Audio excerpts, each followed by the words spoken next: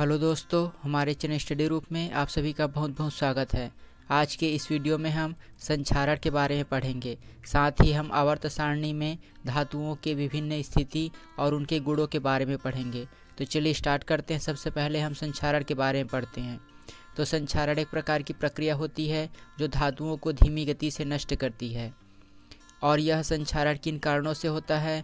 तो हमारे वायुमंडल में उपस्थित विभिन्न प्रकार की गैसें जैसे carbon dioxide, sulphur dioxide, nitrogen dioxide, इन सभी गैसों के कारण संचारण की प्रक्रिया होती है। और इन संचारण के कारण जो धातु होते हैं, वह धात्विक ऑक्साइड या फिर धात्विक हाइड्रोक्साइड के रूप में परिवर्तित हो जाते हैं। और इसी परिवर्तन की क्रिया को कहा जाता है संचारण संचारण विभिन्न प्रकार के कारकों से प्रभावित होता है। पहला कारक होता है धातुओं की प्रकृति, अर्थात धातुओं की जो क्रियाशीलता होती है, उसके कारण जो संचारण की दर होती है, वह प्रभावित होती है। अगर धातुओं की क्रियाशीलता अधिक है तो संचारण की दर अधिक होगी। अगर क्रियाशीलता कम है तो संचारण की दर कम होगी। अगर हम क्रियाशीलता की बात करें तो लोहे की क्रियाशीलता अधिक होती है, इस कारण उसमें संचारण अधिक होता है। वैसे ही अगर सोना, चांदी इन सभी धातुओं की बात करें तो इनमें क्रियाशीलता कम होती है। अर्थात इसमें संचारण बहुत ही धीमी गति से और इसी गुण के कारण जो सोना और चांदी होते हैं, वह प्रकृति में स्वतंत्र अवस्था में पाए जाते हैं। संचारण को प्रभावित करने वाले कारकों में अगला है वायुमंडल की प्रकृति। अगर वायुमंडल में carbon dioxide, sulphur dioxide sulphur dioxide या फिर नमी या खारापन कम है तो वहाँ पर संचारण की दर कम होगी। तो वायुमंडल की प्रकृति भी संचारण को प्रभावित करती है। अगला कारक है धातुओं की विकृति। अगर धातु खुरदरी है, मुड़ी हुई है तो वहाँ पर जो अणु होते हैं, उनका तनाव अधिक होता है और तनाव अधिक होने के कारण वहाँ संचारण अधिक होता है। तो इन सभी कारकों को हमें याद रखना है कि संचारण को प्रभावित करने वाले कारक हैं धातुओं की प्रकृति, वायुमंडल की प्रकृति और अगला है धातुओं की विकृति। इसके बाद हम अगला पढ़ते हैं संचारण से बचने के उपाय। संचारण की प्रक्रिया से विभिन्न प्रकार के उपायों के माध्यम से बचा जा सकता है। पहला उपाय है, धातु में पेंट, ग्रीस या तेल लगाकर। अगला उपाय है, धातु में अन्य धातु की परत चढ़ाकर, जैसे कि गेल्वेनाइजेशन एक प्रकार की प्रक्रिया होती है, जिसमें जस्ते की धातु की परत चढ़ाई जाती है। तो इसे हमें याद रखना है कि जो गेल्वेनाइजेशन की प्रक्रिया होती है, किसी धातु में अन्य धातु की परत चढ़ाने की प्रक्रिया, उसमें जस्ते धातु की परत चढ़ाई जाती है। अगला संचारण से बचने के उपाय हैं, लोहे के ऊपर पीच अकलतरा या फिर एल्युमिनियम का पेंट लगाकर। एक अन्य उपाय है जिसके माध्यम से संचारण से बचा जा सकता है, लोहा होती है अगर उस लाल तब तक कर देते हैं, उसके पश्चात अगर उसमें जल वाष्प प्रवाहित करते हैं तो जो आयरन होती है, वह जल वाष्प से क्रिया करके आयरन ऑक्साइड बनाती है और एक प्रकार की परत का निर्माण करती है, और यह परत लोहे को संचारण से बचाती है। तो इन सभी उपायों के माध्यम से संक्षारण की प्रक्रिया को रोका जा सकता है, संक्षारण से बचा जा सकता है। अगला हम पढ़ते हैं लोहे में संक्षारण। लोहे में जंक लगना या फिर संक्षारण की प्रक्रिया किस प्रकार होती है? लोहे में जंक लगना एक प्रकार की रासायनिक परिवर्तन का उदाहरण होता है। लोहे में जो जंक लगती है वह मूल रूप से हाइड्रेटेड फेरिक ऑक्साइड होता है। जंक लगने की क्रिया एक प्रकार की विद्युत रासायनिक सिद्धांत पर आधारित होता है, जिसमें जो अशुद्ध लोहा होता है, जिसमें जंक लगता है, वह एक प्रकार के विद्युत रासायनिक सेल की भांति कार्य करता है। उसमें जो शुद्ध लोहा होता है, वह कैथोड की भांति कार्य करती है, जबकि उस अशुद्ध लोहा वह एनोड की भांति कार्य करता है और उसमें जो नमी, ऑक्सीजन या फिर कार्बन डाइऑक्साइड वायुमंडल में उपस्थित होते हैं, वे सभी विलय होते हैं और वे विद्युत अपघट्ट के रूप में कार्य करते हैं। इस प्रकार, जो जंग लगने की प्रक्रिया होती है, वह विद्युत रासायनिक सिद्धांत पर आधारित होती है और विद्युत रासायनिक सेल की भांति कार्य करती है। एनोड में कौन सी प्रक्रिया होती है? तो एनोड में जो आयरन होती है, वह आयनों के रूप में परिवर्तित हो जाती है और जो कैथोड होती है, वहाँ पर ऑक्सीजन की उपस्थिति में यहाँ पर जो आयन प्राप्त होते हैं इलेक्ट्रॉन, वह जल के साथ क्रिया करके हाइड्रोक्साइड आयन बनाती है। और जो एनोड पर आयरन का जो आयन प्राप्त होता है, वह हाइड्रोक्साइड जो कि कैथोड से प्राप्त होती है, उससे क्रिया करके फेरस हाइड्रोक्साइड बनाती है। और और जो फेरस हाइड्रोक्साइड होती है, वह नमी की उपस्थिति में हाइड्रेटेड आयन ऑक्साइड बनाती है। और यही जो हाइड्रेटेड आयन ऑक्साइड होती है, वही जंक है संचारण है।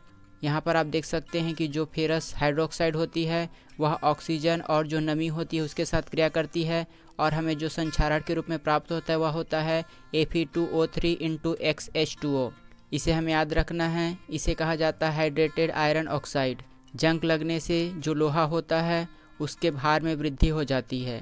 परीक्षा की दृष्टि से इसे हमें याद रखना है कि जंग लगने से लोहे के भार में वृद्धि हो जाती है। इसके बाद हम अगला पढ़ते हैं, धातुओं के ऑक्साइड की प्रकृति कैसी होती है? तो जो धातु होते हैं, उसके ऑक्साइड की प्रकृति क्षारी होती है, अर्थात यह जल से क्रिया करके क्षार बनाता है। इसके उदाहरण के रूप में हम देख सकते हैं कि जो सोडियम ऑक्साइड होती है, मैग्नीशियम ऑक्साइड होती है और कैल्शियम ऑक्साइड होती है। ये सभी धातु के ऑक्साइड होते हैं और इनकी प्रकृति क्षारी होती है। वैसे ही कुछ ऐसे धातु होते हैं जिसके ऑक्साइड उभयधर्मी प्रकृति के होते हैं। इस प्रकार के उभयधर्मी प्रकृति के जो ऑक्साइड होते हैं, वह अम्ल और क्षार से क्रिया करके लवण और जल बनाते हैं। इसके उदाहरण के रूप में आप देख सकते हैं, यह उभयधर्मी प्रकृति के होते हैं, जिंक ऑक्साइड एल्युमिनियम ऑक्साइड और लेड ऑक्साइड ये तीनों उभयधर्मी प्रकृति के होते हैं, ये अम्ल और क्षार से क्रिया करके लवण और जल बनाते हैं। इसके बाद हम अगला पढ़ते हैं मिश्र धातु के बारे में। मिश्र धातु क्या होती है? तो जब दो या दो से धातु या फिर अधातु को आपस में मिलाकर समांगी मिश्रण बनाया जाता है तो उस समांगी मिश्रण को कहा जाता है मिश्र धातु।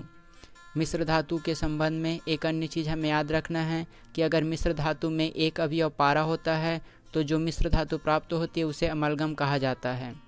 तो अमलगम में एक आवश्यक तत्व है, वह है पारा। अर्थात पारा के बिना अमलगम का निर्माण नहीं किया जा सकता। मिश्र धातु के गुण होते हैं, वह उसके अवयवी तत्वों के गुण से भिन्न होते हैं। इस बिंदु को हमें याद रखना है कि मिश्र धातु के गुण उसके अवयवी तत्वों के गुणों से भिन्न होते हैं और उनका जो गलनांक होता है, वह अवयवी धातु के गलनांक की तुलना में कम होता है। यहाँ पर कुछ मिश्र धातुओं के उदाहरण दिए गए हैं जो कि परीक्षा की दृष्टि से अत्यंत महत्वपूर्ण हैं।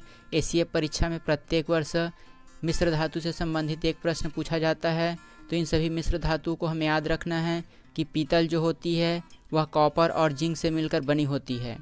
वैसे ही जो कासा होती है, वह कॉपर और टीन से बनी होती है। गन मेटल जो होती है, वह कॉपर, जिंक और टीन से मिलकर बनी होती है।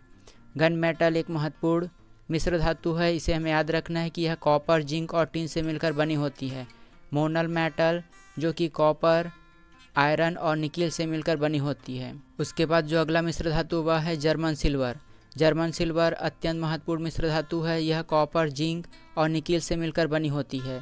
जर्मन सिल्वर के संबंध में एक अन्य प्रश्न पूछा जाता है कि जर्मन सिल्वर में कौन सी धातु नहीं पाई जाती है? उसमें ऑप्शन में ये दिया रहता है सिल्वर।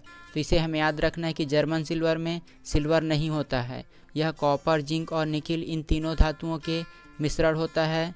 अगला मिश्र धातु होता है ड्यूरेलुमिन। यह जो होती है वह एल्युमिनियम, मैग्नीशियम और कापर का मिश्र धातु होता है। इससे जो मिश्र धातु प्राप्त होती है वह हल्की होती है, इस कारण इसका उपयोग वायुयान निर्माण में किया जाता है।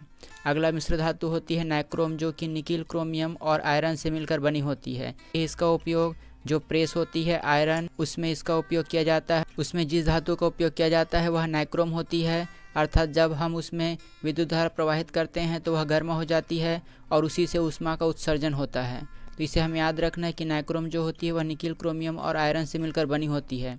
अगला मिश्र धातु होता है सोल्डर, जो कि लेड और टीन से बना होता है।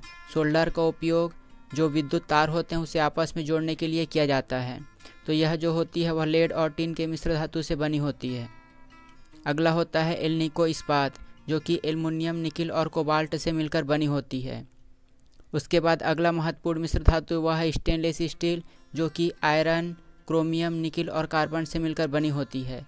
स्टेनलेस स्टील का उपयोग बर्तन बनाने में किया जाता है और यह एक प्रकार की जंग क्रोधी होती है क्योंकि इसमें क्रोमियम धातु उपस्थित होता है। अगला हम पढ़ते हैं आवर्त सारणी के बारे में। सबसे पहले हम मेंडलिप द्वारा प्रतिपादित आवर्त सारणी के बारे में पढ़ते हैं। मेंडलिप के द्वारा तत्वों का वर्गीकरण किया गया उन्होंने तत्वों के भौतिक और रासायनिक गुण को उनके परमाणु भार के आवर्ती फलन के अनुसार व्यवस्थित किया। उन्होंने जो आवर्त सारणी दी, उसमें नौ वर्ग थे और सात आवर्त थे। वर्ग का तात्पर्य होता है ऊर्ध्वाधर कतार, अर्थात जो ऊर्ध्वाधर रेखा होती है, जिसमें धातुओं को व्यवस्थित किया गया है, उसकी संख्या नौ होती है और उसे वर्ग कहा जाता है, जबकि जो क्षैतिज कतारें होती है ये आप देख सकते हैं, इसे क्षैतिज कतार कहा जाता है और इन क्षैतिज कतारों को आवर्त कहा जाता है। मेंडलिप के द्वारा जो आवर्त सारणी दी गई, उसमें सात आवर्त थे इसे हमें याद रखना है कि मेंडलिप के द्वारा जो आवर्त सारणी दी गई, उसमें नौ वर्ग थे, जबकि सात आवर्त थे। और मेंडलिप ने तत्वों को उनके परमाणु भार के आधार पर व्यवस्थित किया। परंतु मेंडलिप के द्वारा जो आवर्त सारणी बनाई गई, उसमें बहुत सी अशुद्धियाँ थी, जिसके कारण इसमें बहुत से परिवर्तन हुए और अंत में एक सर्वमान्य आवर्त सारणी का निर्माण हुआ, जिसे कहा जाता है आधुनिक आवर्त सारणी और इस आधुनिक आवर्त सारणी को ब्रिटिश वैज्ञानिक मोसले के द्वारा निर्माण किया गया था। उन्होंने तत्वों में एक विशिष्ट प्रकार के गुण की खोज की थी और उस गुण को उन्होंने नाम दिया परमाणु संख्या। परमाणु संख्या या परमाणु क्रमांक, जो कि धातु में या फिर अधातु में उसके इलेक्ट्रॉन की संख्या के बराबर होती है। तो इसी इलेक्ट्रॉन की संख्या को उन्होंने परमाणु संख्या कहा और इसी परमाणु संख्या के आधार पर उन्होंने एक सारणी तैयार की, जिसे आधुनिक आवर्त सारणी नाम दिया गया। तो इसे हमें याद रखना है कि आधुनिक आवर्त सारणी का प्रतिपादन मोसले के द्वारा किया गया था और उन्होंने एक विशेष प्रकार के गुण की खोज की, अर्थात परमाणु संख्या, और उन्होंने इन सभी तत्वों को उनके परमाणु संख्या के आधार पर व्यवस्थित किया। आधुनिक आवर्त सारणी में तत्वों के भौतिक और रासायनिक गुण, उनके परमाणु संख्या के आवर्ती फलन होते हैं। आधुनिक आवर्त सारणी में जो वर्ग की संख्या थी, वह थी अट्ठारह, जबकि छैतीस कतार जिसे आवर्त कहा जाता है, उसकी संख्या थी सात। तो इस अंतर को हमें याद रखना है कि मेंडलिप के द्वारा जो प्रतिपादित की गई, उसमें नौ वर्ग और सात आवर्त थे, जबकि आधुनिक आवर्त सारणी में अट्ठारह वर्ग और सात आवर्त है। जो ऊर्ध्वाधर रेखाएँ थी, उसकी जो पहली ऊर्ध्वाधर रेखा है, उसे क्षार धातु कहा जाता है, जबकि जो अंतिम ऊर्ध्वाधर रेखा है, उसे निष्क्रिय धातु कहा जाता है। आधुनिक आवर्त सारणी में परमाणु संख्या अंठावन से इकहत्तर तक के तत्वों को लेंथेनाइट श्रेणी में रखा गया है। परीक्षा की दृष्टि से यह महत्वपूर्ण है कि अंठावन से इकहत्तर तक के तत्वों को लेंथेनाइट कहा जाता है, जबकि परमाणु संख्या नब्बे से 103 तक के तत्वों को एक्टिनाइट कहा जाता है। आवर्त सारणी में विभिन्न आवर्तों और वर्गों को अलग अलग नामों से जाना जाता है। उनकी धातु की विशेषता अलग अलग है।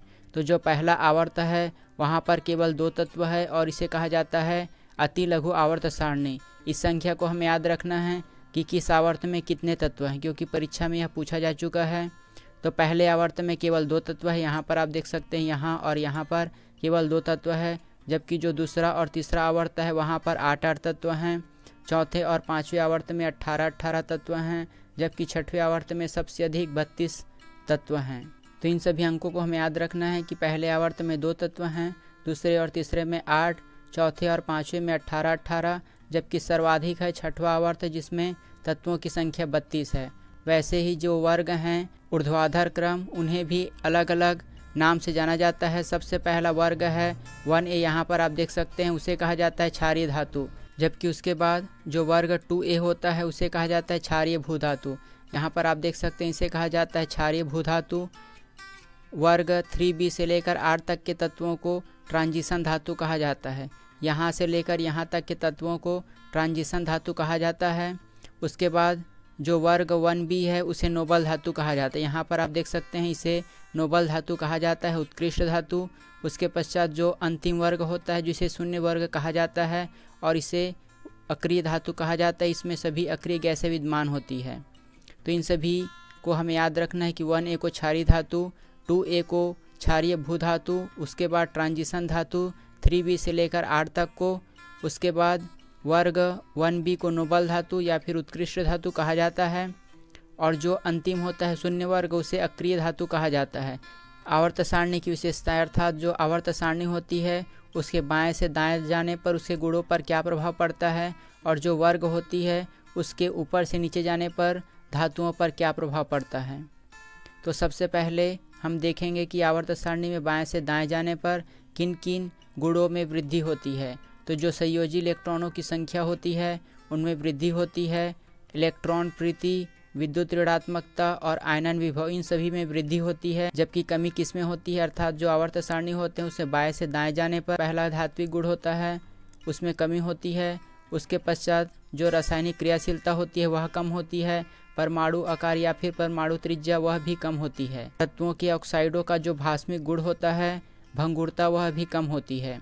तो इन सभी को हमें याद रखना है, परीक्षा की दृष्टि से यह महत्वपूर्ण है कि आवर्त सारणी में बाएँ से दाएँ जाने पर तत्वों के किन किन गुणों पर क्या प्रभाव पड़ता है कौन कौन से गुणों में वृद्धि होगी और कौन कौन से गुणों में कमी होगी।